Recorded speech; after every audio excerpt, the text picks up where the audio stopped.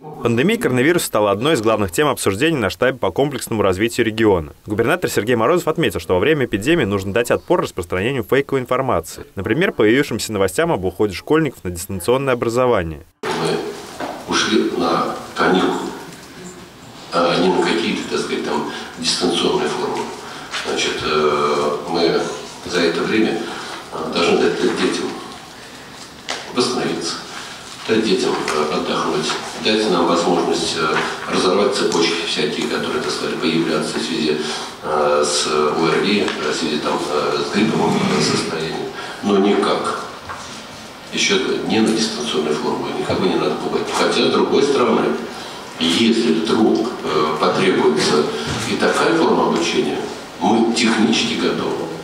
Каникулы продлятся с 5 по 17 октября. Выбранная мера профилактики уже помогает. Заболеваемость по ОРВИ в сравнении с прошлой неделей снизилась. Преследует проведение досрочных каникул еще одну цель у нас дети были долгое время э, на каникулах, ну, затянувшиеся.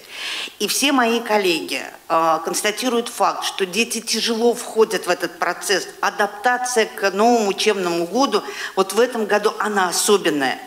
И э, проучившись месяц, вот эти две недели – это возможность еще немного ну, разгрузить себя. Внимание обращается не только на коронавирус. В области зарегистрировано свыше 10 тысяч заболевших острой респираторной вирусной инфекцией. Большинство приходится на Ульяновск. Недельный пит-порог превышен на 13%. К счастью, гриппа на сегодняшний день в области нет.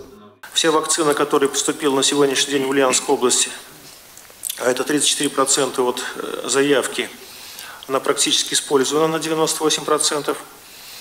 Э, в ближайшее время должна поступить э, оставшиеся партии Э, гриппа. И задача в кратчайшие сроки вот эту поступившую вакцину также нужно использовать.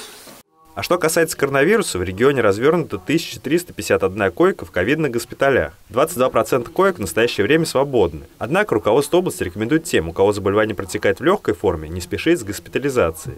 Человек сделал тест. Да, он у него положительный. Нет клиники. Мы спешим сами поехать в ковидный госпиталь, чтобы нас положили, госпитализировали. Еще раз говорю, это неправильно. Хорошо, вы настаиваете, мы как медики не можем этого отказать, мы госпитализируем человека, но вы дополнительно там ту получите инфекцию госпитальную, которая есть там. Вы ухудшите еще дополнительно свое состояние. Зачем это делать?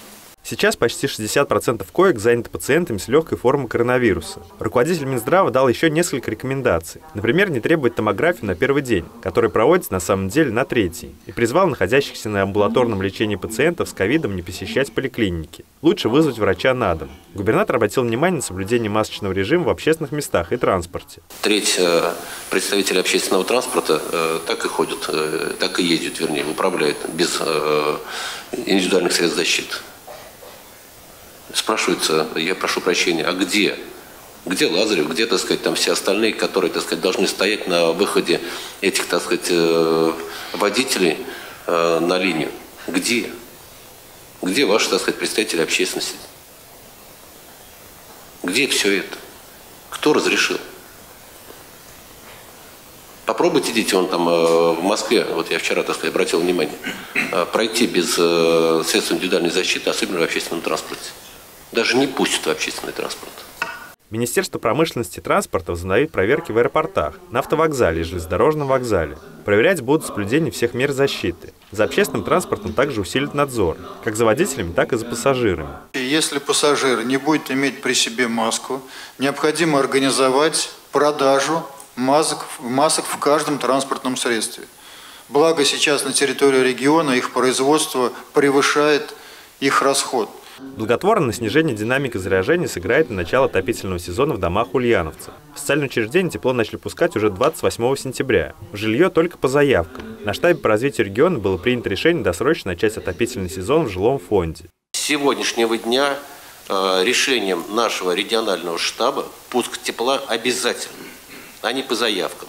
В течение ближайших нескольких дней тепло начнет поступать в дома жителей Ульяновской области. Егор Титов, Владимир Куликов, Новости Улправда ТВ.